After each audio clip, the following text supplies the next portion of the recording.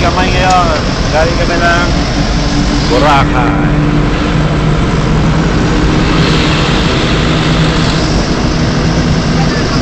January 20, 2012.